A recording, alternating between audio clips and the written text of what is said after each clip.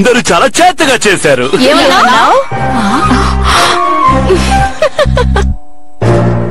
నాకు అయితే చాలా చెత్తగా అనిపించింది అందుకే చెప్పేశా. చెత్తగా కాదు చందు గారు. చక్కగా.